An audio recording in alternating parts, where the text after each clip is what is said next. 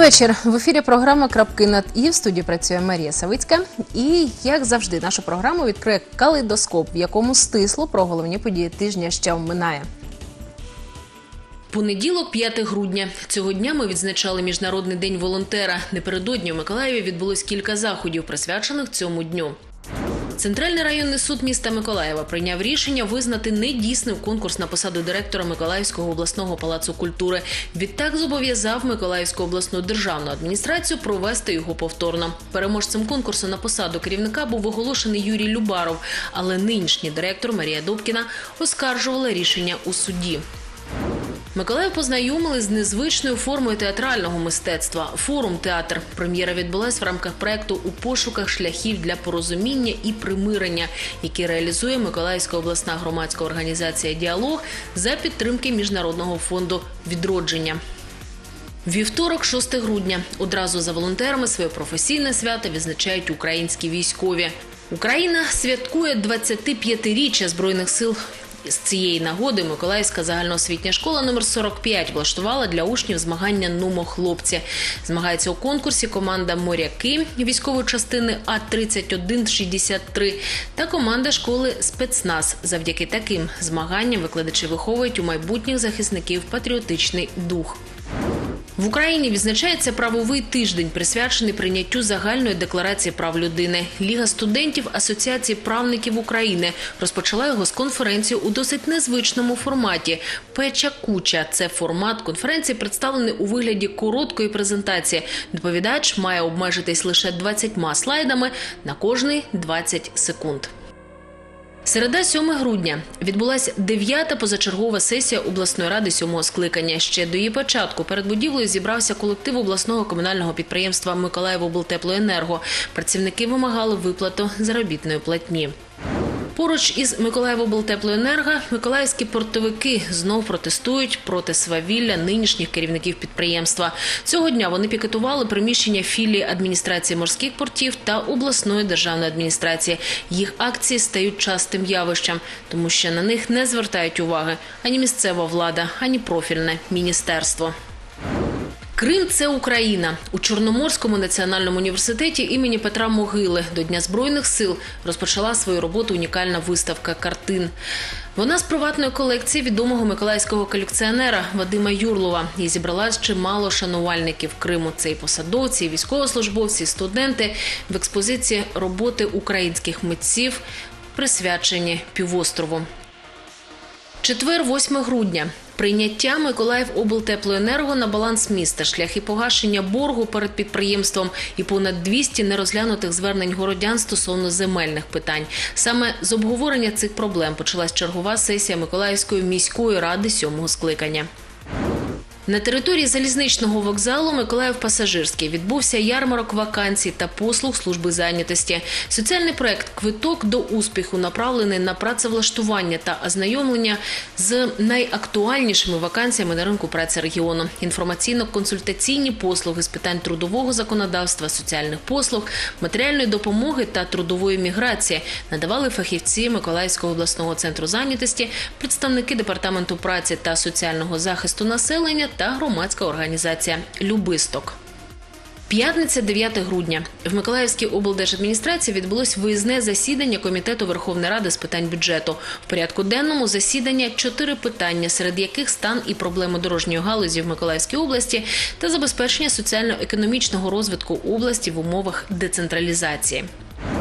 Миколаївські активісти, журналісти та митці ініціювали збір підписів, аби присвоїти звання почесних громадян міста композитору Костянтину Меладзе. Відповідне звернення вже зареєстрували в міській раді. Останнє слово за депутатами. Ініціатор звернення журналіст Сергій Розумяк. Відомий миколаївський історик та громадський діяч Валерій Чернявський презентував власну книгу про остарбайтерів Південної України в часи Другої світової війни. Майбутнє книги із символічною назвою під знаком Ост науковець розпочав ще у 2013 році, захистивши дисертацію. Субота, 10 грудня. Сьогодні поповнились лави захисників батьківщини. З гордістю та належною гідністю на вірність Україні присягнули воїни Національної гвардії. Майже місяць тривали навчальні збори. І суботу 25 військовослужбовців строкової та контрактної служби Національної гвардії України урочисто присягнули на вірність українському народові. У центральній бібліотеці імені Марка Кропивницького відбулась презентація нової книги поетичного вернісажу на ранковій зорі миколаївської поетеси Ганни Король.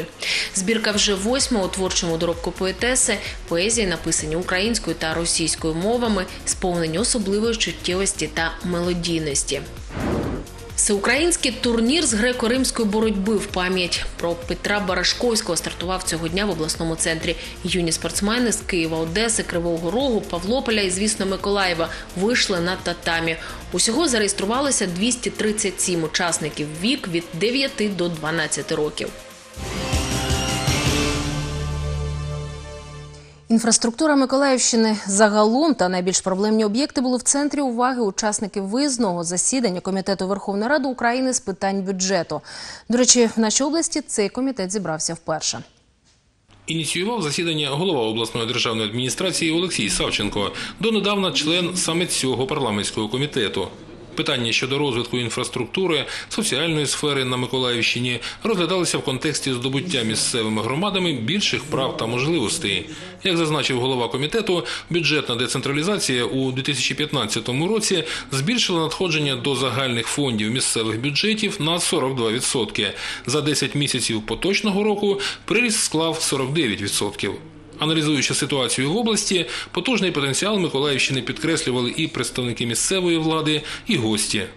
За офіційними даними, у поточному році область займає перше місце серед регіонів України за приростом капітальних інвестицій та одне з перших за показником приросту іноземних інвестицій.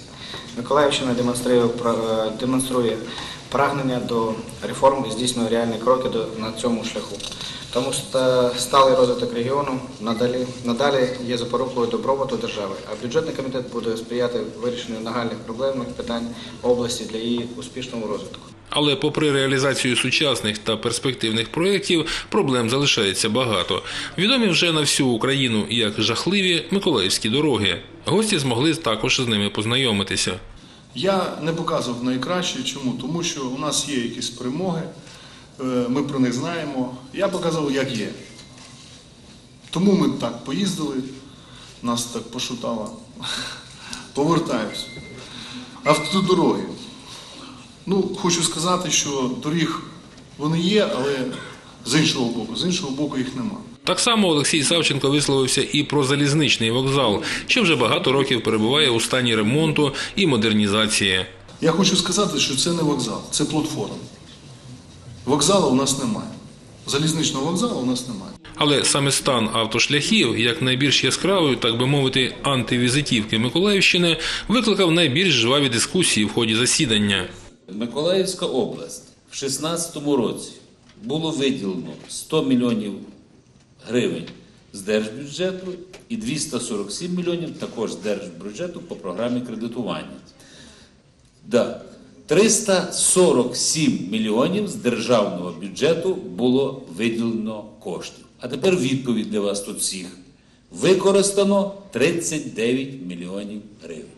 Виконуючий обов'язки начальника служби автодоріг у Миколаївській області Микола Шульга намагався заперечити ці дані, на що почув доволі красномовну оцінку від керівника області. Ви скажіть, будь ласка, вам що не треба коштів, вам не треба доріг? Так воно похоже. Жар великий жаль, це не так. Е, Ні, ні, я, не- я не до нього, я до всіх присутніх. Ні, ні, я скажу, що це, він е, працює три місяці, і він сьогодні ну так от сталося, що він випадково виконує обов'язки А я ще хочу- цього керівника. Тому це від- відповідь не до нього. У виступі Олексія Савченка та доповідях керівників структурних підрозділів Миколаївської облдержадміністрації згадувались інші больові точки. Наприклад, відміна результатів тендера на модернізацію вітчизняної газотранспортної системи, за якими підприємство «Зоря-Машпроект» мало отримати замовлень на понад мільярд гривень. Я сьогодні Гройсману задавав питання. Прямо на годині уряду, в зв'язку з введенням Південного потока, який Ердоган у вівторок затвердив, підписав рішення парламенту. А Росія вчора підписала вже з підрядником контракт і вони почнуться роботи вже з 1 січня. Необхідно Нафтогазу зараз переорієнтувати можливості по е, реконструкції української ГТС. І Володимир Борисович сказав, що зараз е, Укртрансгаз верніше оголосить новий тендер на нові станції, а не на ті, які випадають з південного потоку, бо це ж були південні станції. Зараз будуть інші. або про перспективи продовження будівництва новітнього корвету для вітчизняних військово-морських сил. Бюджетний комітет е, повністю підтримує завжди Міністерство оборони. Я якраз заступник, який займаюся більше обороною. І е, всі заявки, всі ініціативи, які є, от, вони всі завжди підтримані. Розподіляє вже кошти власне Генеральний штаб і Міністерство оборони. І вони визначають, що їм перше потрібно, в чергу потрібно. Я вихід із ракетно-космічної галузі, я їм постійно розповідаю про ракетні озброєння, і все одно ми не можемо вплинути на їхнє рішення. Але безумовно вам треба е, до ваших лобістів звертатися. Долучалися до обговорення і народні депутати, обрані на Миколаївщині в мажоритарних округах та за партійними списками. Щоправда, з 11 були присутні лише п'ятеро, і депутати обласної ради. Зокрема, критикували учасника засідання заступника міністра інфраструктури за недолугу кадрову політику, внаслідок якої керівники дорожніх служб області надто часто змінюються. Нерідко підставою для зміни є порушення справ у відношенні керівників. Ніякого порядку в нас не буде до тих пір, поки буде повна вакханалія з кадрами. Я прошу вас, шановні, прийміть міри. На сьогоднішній день велика заборгованість перед людьми, які працюють в службі е, в дорожніх службах. Е, місяць назад це було близько 7 мільйонів гривень. Люди йдуть із системи, працювати нікому. Зрештою, певний позитивний наслідок виїзного засідання бюджетного комітету таки є. Цілком імовірно, що наступного року Миколаївщина зможе долучитися до експерименту, який вже поширився на кілька регіонів України. Йдеться про можливість використовувати на вирішенні місцевих проблем, в даному випадку ремонт і будівництво доріг, половини від коштів, зібраних митниками понад офіційно заплановане. Сьогодні дійсна подія. Яка саме подія? Сьогодні, е, дякувати голові, підтримана пропозиція. Чого саме підтримана пропозиція, чого саме дякувати голові? Тому що в першому читанні прийнятий бюджет. І в нас є тільки цей тиждень для того, щоб ми зробили певні поправки. І вони зроблені. Поправка внесена і внесена Миколаївська область. Як експериментальна. Хоча реалізація цих планів ще потребує затвердження іншими центральними органами. Можливо, бюджетній допомозі Миколаївщині сприятиме і той факт, що Олексія Савченка визнали почесним членом цього комітету. Федір Бондар, Юлія Кускова, Крапки над І. Цього тижня відбулась дев'ята позачергова сесія обласної ради сьомого скликання. Ще до її початку перед будівлею зібрався колектив Миколаївського обласного комунального підприємства Миколаївоблтеплоенерго. Працівники вимагали виплату заробітної платні. До обурених виходили депутати і чиновники. Усі намагалися запевнити питання щодо налагодження роботи підприємства розглядатиметься на сесії.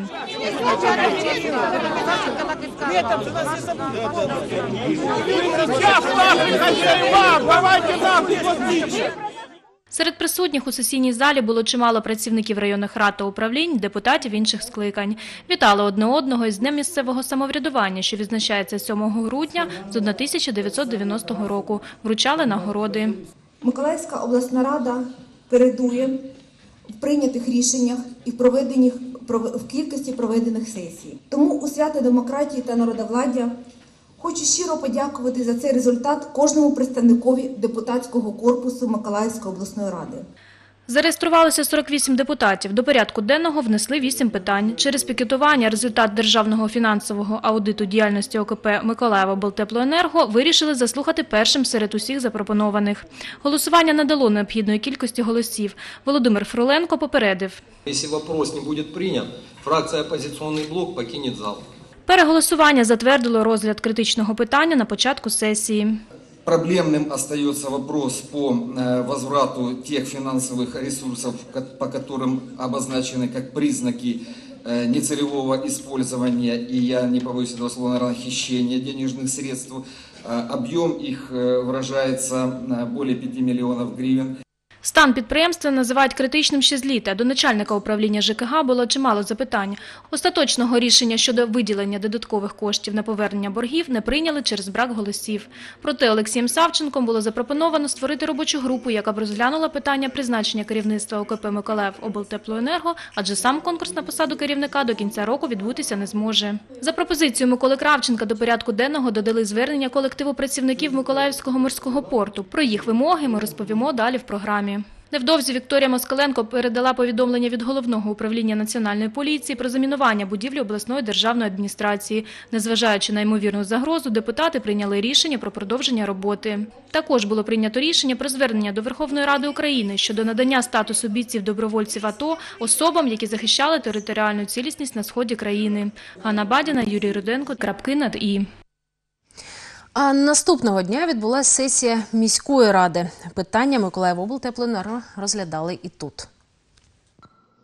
Ще до того, як депутати затвердили порядок денний та регламент роботи 11-ї сесії, Олександр Сянкевич оголосив результати узгоджувальної наради голів фракції Миколаївської міської ради стосовно критичної ситуації в Миколаїв облтеплоенерго, на якій вирішили допомогти з виплатою боргу із заробітної платні, але приймати підприємство на баланс міста поки не будуть. До речі, один з найбільших боржників за спожите тепло Миколаїв водоканал. Збільшення статутного капіталу е, Миколаївського е, МКП Миколаївводоканал на суму заборгованості цього підприємства перед підприємством Миколаїв облтеплоенерго, обласним комунальним підприємством.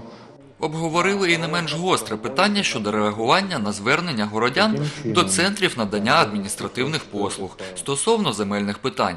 Лише у 2016 році до установи надійшло понад 3,5 тисячі заяв. Це е, пакет документів щодо затвердження проєктів землеустрою, е, містобудівних умов, будівельних паспортів. Станом на начало грудня е, 230 заявників не отримало будь-які відповіді, які повинна надавати управління е, містобудування та архітектури. Але деякі депутати знають причину і шляхи вирішення цих проблем. То есть очень просто затребовать у архитектуры, у земельного управления, на каком основании те или иные вопросы зависли. Я отвечаю за свои слова, что 90% там просто из-за того, что незара- нерасторопности э, чиновников, не более того. Через низку розбіжностей з чинним законодавством розгляд деяких земельних питань відправили на доопрацювання. А до проблем Миколаїв облтеплоенерго депутати повернуться під час позачергової сесії, яка відбудеться 12 грудня. А зараз у нас в студії гість. Це Олександр Рєпін, заступник директора департаменту житлово-комунального господарства. Е, Про ті питання, які порушились під час сесії, ми говорити не будемо, а поговоримо про е, тарифи, тарифи на утримання будинків та прибудинкової території. Е, Наскільки я знаю, останнім часом відбулись певні зміни. Тож, будь ласка, Олександр Володимирович, про ці зміни, з чим вони пов'язані, і власне що змінилося, в який бік? Спасибо, что пригласили меня на передачу. Название вашей передачи очень, очень символическое. Это действительно пора уже поставить точку над «и» в разговорах о тарифах. Э, Уже, наверное, вся Украина перешла на подомовые тарифы. Мы были одни из последних, которые все-таки э, решились на этот шаг. Знаете, очень долгое время мы тарифы видели какими-то социальную составляющую. Э, Какую угодно мы видели в них составляющую, но не видели экономическую составляющую. Любой тариф не может быть большим или маленьким, это не показатель. Тариф должен быть экономически обоснованным. Э, Работа по определению подомовых тарифов началась уже давно. Примерно лет пять велся этот процесс. То есть на каждый дом был создан электронный паспорт, в котором были оговорены все его э, специфические составляющие, также была э, посчитана его придомовая территория. Была разработана программа, которая автоматически посчитала эти тарифы. Конечно же, с помощью работников ЖЭКов. И эти данные уже были готовы к началу года. Ну, как всегда, нас сдерживали какие-то факторы, которые очень тяжело э, определить, насколько они были объективными или субъективными. Но жизнь нас, нас все-таки толкала вперед, и одной составляющей это стало создание, массовое создание УСМД. На, где-то месяца два назад была встреча городского головы Александра Сенкевича с председателями правлений вновь созданных УСМД. И одним из, из вопросов и просьб со стороны председателей было предложение повышать тарифы, чтобы они были экономически обоснованными. То есть, когда люди, собственники, столкнулись действительно с содержанием дома, и основная масса выбирала тот тариф, который был до этого, они с ужасом осознали, что на этот тариф нельзя прожить. Мгм. Потому что жизнь и экономика шла вперед, а мы оставались в ценовых рамках 2009 года. И поэтому я считаю, что мы объективно подошли к уже принятию нового подомового тарифа. То есть это кажд- в каждом дороги доме? нету. Да. То есть в каждом доме отдельный тариф? Да, для любопытствующих горожан они заходят на сайт горсовета, находят этот массив данных, то есть на каждый дом посчитан тариф. Мы ушли от понятия классности домов. Все, нет, раньше было какие-то обобщенные, типа э, в этом ЖЭКе дома первого, второго класса, то есть это девятиэтажки. Мы так не называем. Мы говорим по домовой тариф. Поэтому, пожалуйста, интересуйтесь. Ну, Вы будете приятно удивлены. И в то же самое время мы параллельно с э, вывешиванием э, на сайте Горсовета все ЖЭКи на всех дверях, ну или, скажем так, местах общего пользования э, вывесили такие листовочки, в которых текст об- обоснования этого тарифа и чтобы было людям понятно, написан какой тариф для их дома и телефон ЖЭКа, которым готовы рассказать людям, почему такой тариф. То есть любой желающий может обратиться в ЖЭК и поинтересоваться, из каких параметров рассчитан ваш пановой тариф. Если вас обидели, если вам наговорили гадости в этом ЖЭКе, пожалуйста, не стесняйтесь обращаться в департамент, мы проведем соответствующую беседу. Ну, собственно, а из чего же складывается этот тариф и э, ну, формула расчета? Ну, Как, как, как вы просчитывали, по какому принципу? Мы просчитывали по принципу минимального количества услуг, которые мы предоставляем. Если согласно постановам кабины их должно быть 26, мы остановились на 9. 9 самых необходимых услуг. Они перечислены в, этом, э, в этой листовке, которая висит на каждом доме. Самой большой сос- причиной, наверное, все-таки это повышение тарифов, это было то, что э, за 9 лет выросла минимальная заработная плата. Эти тарифы посчитаны из расчета 1600 гривен в месяц подомовые. А до этого, который мы сейчас работаем, это 657 гривен. То, что было Мгм. столько времени назад. Э, Выросла стоимость э, электроэнергии. С 30 копеек, слава богу, дошли до рубля, и этот процесс идет дальше. Выросла стоимость обслуживания лифтов, выросла стоимость вывоза мусора. То есть, ну нельзя заводить себя в эту ситуацию, в которой мы оказались. Если мы планомерно бы с моментом поднятия стоимости составляющих этого тарифа его по чуть-чуть увеличивали, для нас не было таким революционным шагом. Э, Конечно же, департамент интересовался, э, как обстоят дела в Украине. Поверьте, многие области ушли далеко вперед в плане э, То есть у нас стоимости. еще У нас н- очень низкий тариф. низкий. Для 14-этажки города Житомир, это, ну, областной центр, это среднестатистический областной центр, даже меньше, чем наш, 5 гривен 20 копеек квадратный метр. У нас же ж 2,20 Планируем мы где-то 3,84 с чем-то. То есть... э, А скажите, вот э, руководители ну, ОСМД, они э, могут в, ну, в связке с жителями, да, они могут сами устанавливать тариф, или они все-таки должны ориентироваться как-то на Да город? нет, закон э, определяє, що внески на утримання житлового будинку та придомової території определяются на общем собрании. Не надо никаких согласований. Если правление председатель готовит для председателя смету, но это и закон так оговаривает, смету на следующий год, в котором описываются планируемые затраты, и из этого э, происходит расчет тарифа. Для того, чтобы люди получали відшкодування от Департамента соцзахисту, существуют, согласно законодательству в Николаеве, граничные тарифы. То есть для девятиэтажек это 3 гривны 80 копеек, для пятиэтажек без лифта, ну это с лифтом без лифта, для домов без лифта это 3,30. То есть верхний предел Да, существует? существуют они. Э, не, ну СМД может принять и 10 гривен, но льготникам и субсидиантам будет відшкодовано только из расчета 3,80 и Мгм. 3,30. Ну, у нас э, осталось буквально одна-две минутки. Раз уж мы говорили за ОСМД, какова ситуация сегодня в городе? Насколько активно люди присоединяются и объединяются? Да, это не то, что активно, это революционно они объединяются и присоединяются. В городе сейчас существует 534 ОСМД. При условии, что на начало года это было 210, по-моему. То есть э, произошел качественный бросок по созданию ОСМД. И участие департамента в этом, поверьте, очень даже активное. Мы проводим и учебу для инициативных групп, учебу для избранных председателей, Э, проводим консультации, как участвовать в программе софинансирования 10 на 90, когда городской бюджет дает 90%, а ОСМД 10. То есть и Николаев тоже не пасет задних по всей Украине. Поверьте, у нас самые лояльные условия для участия в программах софинансирования. Мы предлагаем два ремонта 10 на 90, все последующие 50 на 50.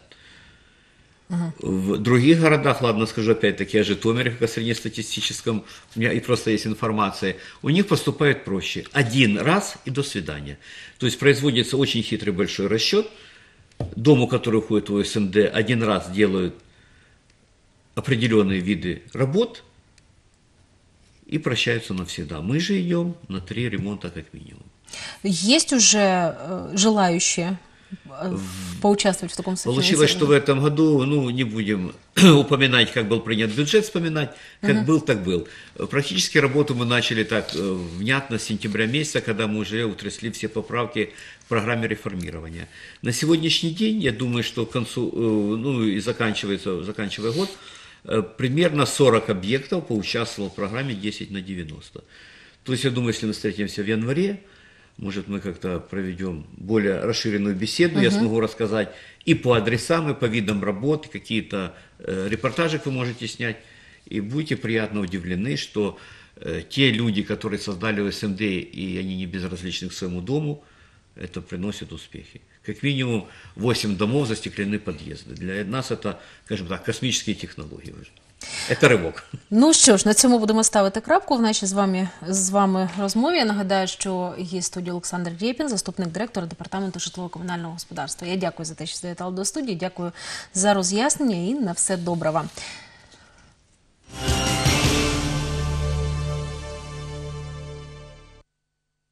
Ну, а ми продовжуємо. Два місяці в зоні проведення антитерористичної операції. Бійці, які виконували бойову задачу на Маріупольському напрямку, приїхали на ротацію. Радощі від зустрічі з рідними бачила і наша знімальна група. Вони тримають оборону України, як колись обіцяли, складаючи присягу. А сьогодні вони приїхали на ротацію додому, до близьких та рідних, де їх з нетерпінням чекають. 200 бійців особового складу Національної гвардії України повернулись на місце постійної дислокації після несення служби в зоні проведення антитерористичної операції. Всі старалися, кожен по-своєму, кожен робив великий вклад і далі продовжує його робити. Тому я абсолютно певний, що з цим особовим складом можна виконувати бойові завдання такого рівня, навіть вище. Бійцям важко словами передати ті емоції та відчуття, що їх переповнюють після повернення додому. Ой, великі емоції, знаєте, дружина, дитина. Просто це не передати. Це, це дуже, дуже приємно, коли тебе ждуть, коли тобі раді, коли. Це просто не передати. Це перший мене виїзд. Я хочу передати батькам велике дякую і сказати їм, попросити, може, якесь прощення може треба, тому що, як ви знаєте, стільки ночі не недоспано, стільки, стільки сльоз пролито. несколько месяцев выполнения боевой задачи. Эмоции превосходят ожидаемого. Вернулись без потерь? Конечно. Вернулись без потерь, выполнили задачу, поставленную командованием на, будем говорить, отлично. Сльози щастя та останні хвилини очікування. Так своїх героїв зустрічають родичі, друзі та побратими. Очень радостные эмоции. Так хорошо, что сегодня день такой солнечный, так прекрасно все. И хорошо встречать, очень плохо провожать. А встречать всегда хорошо. Мы очень рады, что он приехал, вот, очень долго ждали, вот, вот стоим, ждем его. Нет, это третья уже. Каждый раз встречаем? Каждый раз встречаем.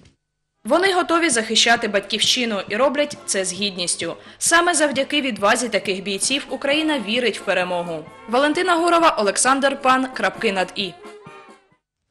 В Україні відзначався правовий тиждень. На Миколаївщині цю подію відзначали різноманітними заходами. Далі про це у підсумковому репортажі наших колег.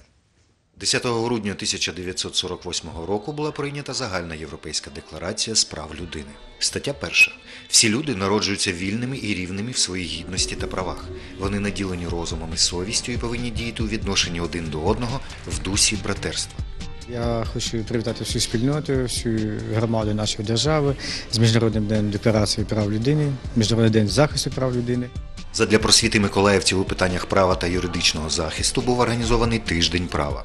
Это огромная колоссальная идея, которая а, была создана головним територіальним управлінням юстиції, також Миколаївським осередком Ліги студентів Асоціації правників України і департаментом освіти і науки Миколаївської областной державной администрации. Мы хотим, как будущие юристы, помочь а, всем людям, которые а, имеют право на то, чтобы быть защищенными.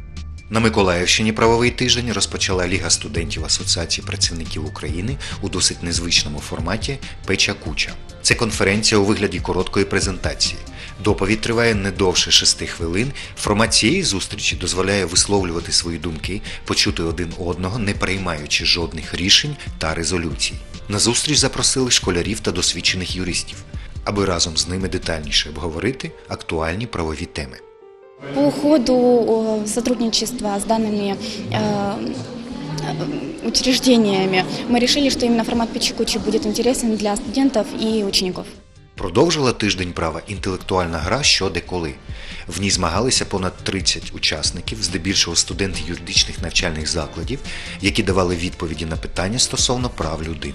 В связи с тем, что мы все-таки празднуем Всеукраинскую неделю права, мы сделали тематику общую права человека, поэтому, в принципе, каждого студента мы приглашали. А, Но так сложилось, что все-таки студенты-юристы были более активны. Третій захід на тижні права форум театр. Це вистава, в якій, окрім акторів, беруть участь і глядачі. В Україні такий формат ще мало поширений, але викликав інтерес у глядачів. Оскільки захід присвячений тижню права, вистава висвітлює соціальні проблеми. У кульмінаційний момент дія зупиняється, аби учасники разом з глядачами обговорили подальший перебіг подій та могли вибрати найоптимальніший варіант фіналу ситуації. це моделювання життєвої ситуації. І тут дуже важливо ті цінності, які є особистості, громадська позиція. Е, Тобто, от колегіально з усіма учасниками ми виходимо на те, що можна було негативну ситуацію, в яку попадають наші підлітки, можна було просто по-іншому повести собі у себе у житті. Наприкінці тижня права відбулися засідання Південноукраїнської школи з прав людини та правозахисної діяльності, всеукраїнський конкурс соціальних роликів на тему прав людини та благодійний концерт. Молодежь должна повышать свои знания в сфере права, чтобы защитить, защитить себя, тем самым еще подать пример, возможно, даже старшим людям, которые не знают, как правильно это сделать. Українці мають знати свої права та володіти правильними інструментами впливу на події, розуміти, що подальший розвиток суспільства залежить від кожного з нас. На самом деле э, не сила физическая, не оружие является главным инструментом, а именно слово. Я показал на исторических примерах, я показал инструменты и механизмы использования этого, и, кроме того, даже дал необходимые моменты, как это все делать. Аудитория замечательная, м, люди стремились к этому. Особенно приятно, что это молодежь. Денис Костенко, Наталя Забазнова, Олександр Гордієнко, Юлія Кускова, Андрій Заворотній. Крапки над і. Відомий миколаївський історик та громадський діяч Валерій Чернявський презентував власну книгу про остарбайтерів південної України в часи Другої світової війни. Небайдужих до подій того часу у малій залі міськвиконкому зібралось чимало. У кожного були свої точки дотику до порушеної теми: наукові, професійні та особисті. Майбутні книги із символічною назвою під знаком ОСТ Валерій Чернявський розпочав ще у 2013 році, захистивши кандидатську дисертацію. Тема монографії морально складна. Вона містить історії безлічі людських життів. Основна робота над виданням стосувалася адаптації історичного матеріалу для звичайного читача.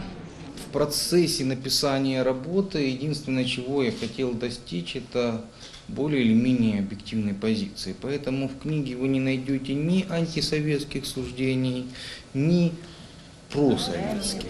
В монографії багато ілюстративного матеріалу, фотографії з державних архівних фондів та приватних колекцій. Книга хронологічно розповідає про те, як починався шлях до примусової праці у третьому рейсі, умови експлуатації населення та особливості повернення на батьківщину.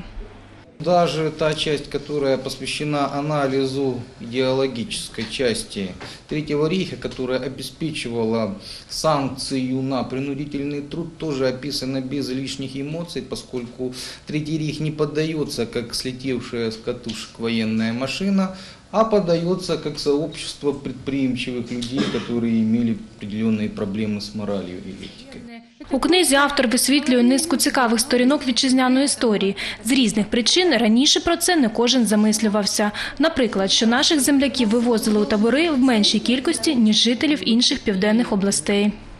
Этому было объяснение вполне понятное. Это было связано с тем, что оккупанты рассчитывали на наши судостроительные заводы, на наш порт, на то, что город будет действовать. Потому городские рабочие, городскую рабочую силу щадили. А от чому по різні боки південного бугу кількість примусово вивезених була не однаковою, а кожен шостий полонений опинився саме на території Румунії, бібліотекар не відповіла. Запропонувала кожному знайти відповідь під час читання книги. Найочікуваніше для кожного під час поневолення та експлуатації повернення на батьківщину. Воно не завжди ставало початком спокійного життя. Лише при впорядкуванні документів та складанні описів у Державному архіві Миколаївської області було нараховано понад 25 тисяч фільтраційних справ. Что такое фильтрационное дело? Когда наши э,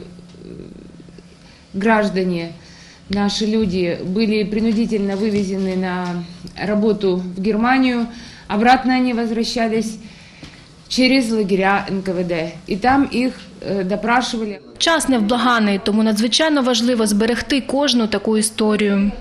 В настоящий момент э, общая численность э, м, лиц, объединенных в городскую и в областную организацию, составляет всего-навсего 472 человека по городу и 1040 человек по области.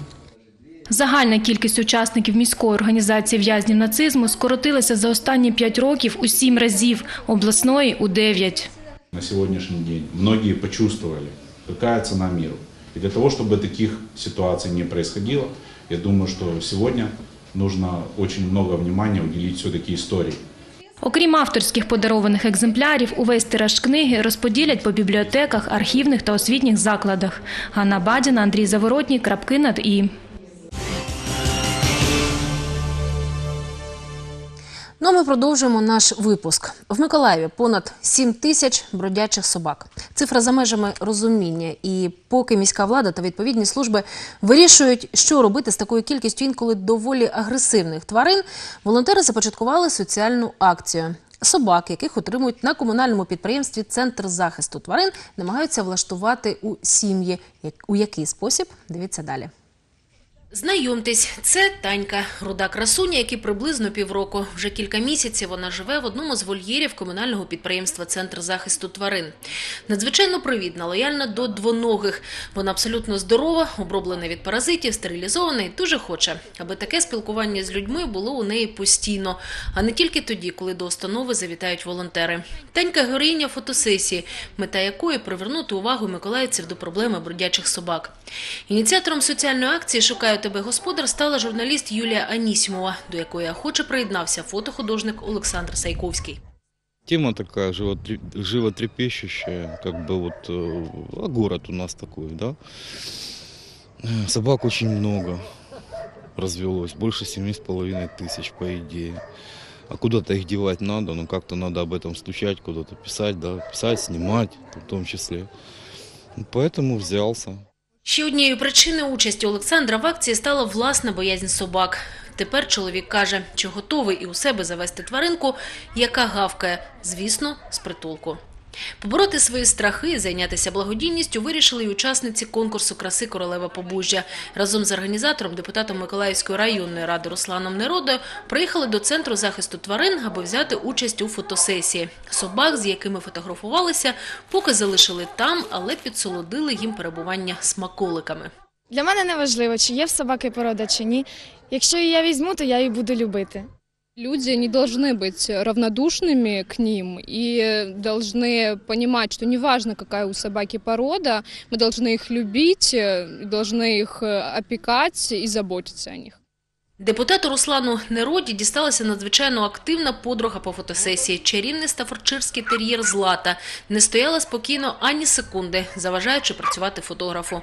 Руслан розповідає, в його родині говорять про те, аби завести собаку. Навряд чи це буде Злата, тому що поки у депутата зовсім маленькі діти. Але згодом цілком можливо тварина буде саме з цього притулку. Я хочу нашу молодежь, во-первых, приучить к тому, чтобы они приучить к благотворительности, чтобы они понимали, что это, для чего это мы делаем. Ну, вот это основная цель. Как вы вообще относитесь к собакам? Люблю собак, очень сильно хочу, но дети пока маленькие еще, никак мы не решимся взять. Очень хочу себе собаку взять. Сьогодні в центрі захисту тварин отримують приблизно півтори сотні собак, більшість з яких безпородні. А відтак шансів знайти родину, яка б їх любила і ставилась турботою, у них набагато менше. Соціальна акція, започаткована Юлією Анісімовою, не нова для України. В Миколаєві подібних ще не було, і вже є результати. Так, на сьогоднішній день з тих е, собак, що були на фотографії, п'ять знайшли дім. Е, і також ще декілька, я, якщо я не помиляюсь, це близько чотирьох, чотири чи п'ять собак, які не були на фотографіях, але коли люди приїздили сюди, вони брали тих, е, тих собак, яких побачили по телевізору, е, ходили по підприємству і брали собі ще одну собаку. Є військова частина, яка зателефонувала і дуже просила, аби всі алабаї, які є на комунальному підприємстві, тут е, вони хочуть їх до себе взяти, тому що в них є можливість тримати цих собак. Їм потрібні ці собаки. Одна собака поїхала в Київ. Дуже багато собак е, по селам роз'їхались. Раніше участь в соціальній акції брали морські піхотинці, поліцейські, тепер красуні побужжя, журналісти. А наступного тижня з собаками познайомляться відомі миколаївські спортсмени. Марія Савицька, Андрій Заворотній, крапки над і. І наприкінці про спорт. Вперше у Миколаєві відбувся всеукраїнський турнір із греко-римської боротьби Хоробрі серця, присвячений пам'яті майстра спорту Петра Барашковського. За першість змагалися юнаки із п'яти областей України. Одним із організаторів заходу виступив рідний брат Петра Барашковського Денис. Ідея організації турніру виникла 10 місяців тому після загибелі Петра. І у подальшому, за словами Дениса, турнір планується проводити щороку та вивести його на міжнародний рівень. Уже подані заявки на участь у змаганнях від представників Грузії та Молдови. Подібні турніри, на думку співорганізатора змагань, потрібні, адже ніщо так не загортовує і духовно, і фізично, як спорт. Все это делается для того, чтобы наши дети росли здоровыми, нормальными. И, конечно же, чтобы они любили нашу страну. Чтобы турниры были интересными, надо над этим работать. Чтобы э, детки боролись, надо их заинтересовывать в хорошем смысле. И э, не только подарки. Э, Здесь должна э, быть комплексная работа государства в лице нашей власти, в лице города, для того, чтобы детям и родителям детей было э, было желание приводить детей тренироваться. У змаганнях брали участь 12 команд у 21 ваговій категорії та двох вікових групах від 8 до 12 років. Загальна кількість учасників налічувала 240 осіб. Це переважно представники Київської, Одеської, Дніпропетровської областей. Миколаївщину представляли спортсмени з Нового Буга, Очакова, Веселинова, дитячо-юнацьких спортивних шкіл номер 1 та номер 7 міста Миколаєва. І учасникам, і їх тренерам сподобалась організація турніру. Всі були у бойовому настрої, налаштовані на перемогу. Открытие красивое, подготовка к турниру очень серьезная. Вот. Надеемся, что наши дети будут выступать здесь неплохо. Борьбу показывают очень яркую дети. Борются за каждый балл. Прямо горячая такая идет схватки у них. Хочется пожелать детям, пусть борются, а турниру процветания. смысл жизни состоит в этом, чтобы спортсмена, чтобы показывать результат. Ну а самое главное, это привить детям здоровый образ жизни. Это мои уже 33-е соревнования на первое место. Мне тут нравится заниматься. Мой папа мастер спорта по греко-римской борьбе.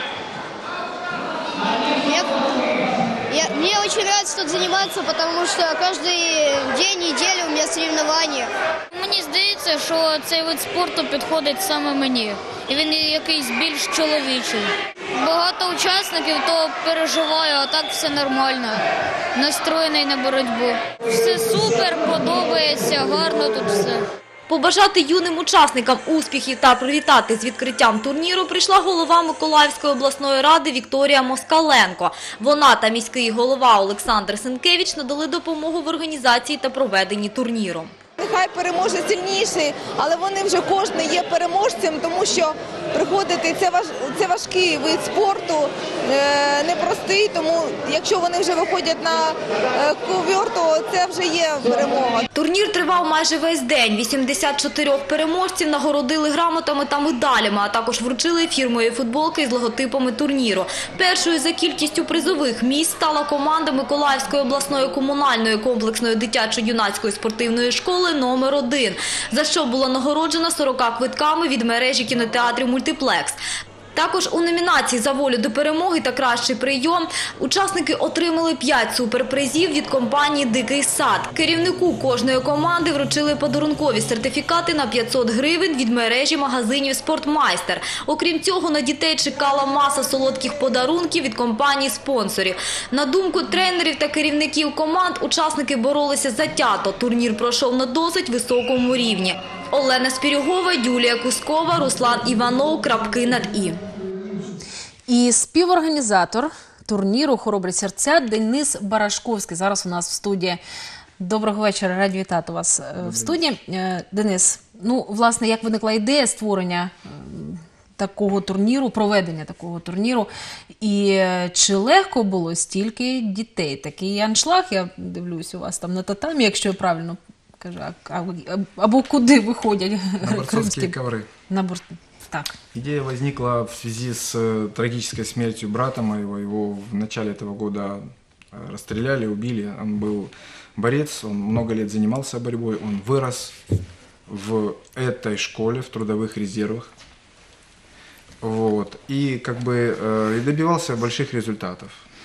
Э, Не хочу говорить по результатам, потому что по, кон- по концу нашего разговора, возможно, будет разыгран какой-то приз с учетом его результатов. Но могу сказать одно, что и он, и я, мы выросли в этой школе.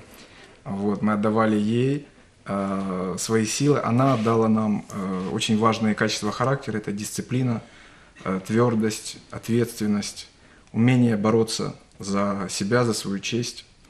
Вот. И хотелось бы, конечно же, после этого турнира, получив массу положительных эмоций от руководства нескольких областных команд с разных областей, хотелось бы, конечно, продолжить такой турнир сделать ежегодным. И, конечно же, чтобы еще больше детей со всей Украины и с наших э, соседних стран, чтобы приезжали, боролись, побеждали. Ну, организация подобных э, соревнований, это вообще, ну, насколько я это представляю, это достаточно сложный процесс. И э, разместить, встретить, разместить, покормить, эм, удовлетворить все какие-то там требования э, и- иногородних команд достаточно сложно. Как все это вышло? Это сложно, э, действительно сложно, потому что такой турнир по борьбе я как со- соорганизатор провожу впервые, хотя опыт организации э, спортивных мероприятий у меня есть. Но здесь я хочу сказать, что объединилось очень много людей, которых знают меня, которые доверяют мне, доверяют моей деятельности. И мы сообща в формате «делаем то, что можем», смогли э, обеспечить проведение турнира на реально очень высоком уровне. Также отдельная благодарность э, лично от меня это э, Константину Владимировичу Васильеву, директору ДЮСШ номер один. Вот. Это тот человек, который стоял рядом во всех вопросах и по организации турнира, и по сложности с расселением, и по сложности с ведением. Он обеспечил большое количество судей, он обеспечил очень много технических и административных вопросов. То есть реально сообща мы смогли найти тех людей, которые откли- откликнулись и увидели, они награждали У нас было очень много интересных, скажем так, таких ноу-хау, да. Все, кто участвовали в формате партнерства, эти же люди потом и награждали э, победителей турнира. Собственно, давайте откроем э, завесу тайны, почему у нас на столе лежит вот такая футболка. Давайте мы ее покажем. Вот. Денис. Это э, футболка большого взрослого размера из, э, для уже там, скажем так, э, на меня или может быть на размер даже больше. Это из тех э, людей, кто должны знать и Петра, и его борцовскую деятельность. Мы хотели бы на этом телеканале с Марией разыграть эту футбол- футболку, чтобы обязательно победитель ее мог забрать и стать соучастником э, этого турнира. Вот такой интерактив. Давайте э, условия, куда, как. Э, зв- Звонить вам или в- к вам в Facebook, на ваш телеканал или на страничку вашего Фейсбука. Вопрос очень простой. А Какой турнир самого высокого ранга, то есть э, выигрывал э, Петр Барашковский?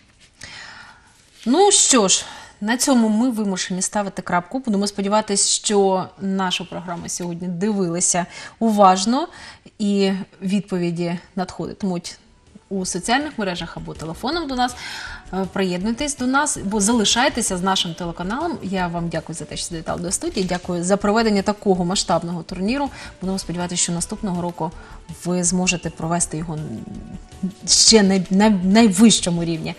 І на все добре вам і вам дякуємо за те, що були з нами.